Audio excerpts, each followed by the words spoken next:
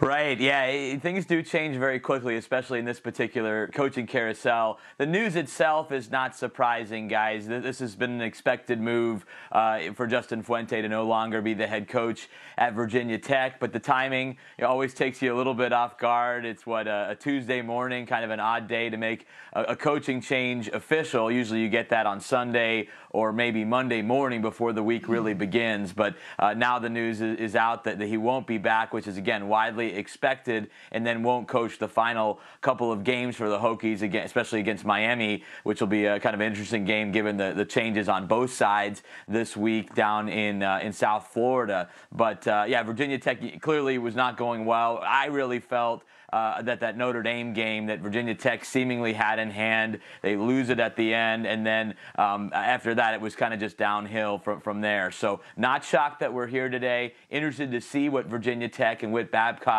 does from here on out. But the timing a little bit uh, surprising, although it just feels like in this particular carousel, guys, schools are trying to get ahead of it. They are trying to announce early we're making a change, and then ideally make a hire early as well.